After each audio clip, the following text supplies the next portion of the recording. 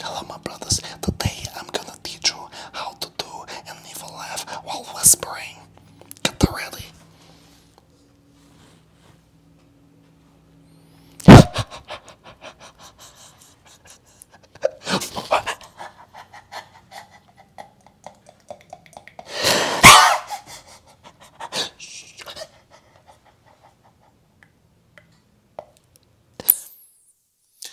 I hope you enjoy.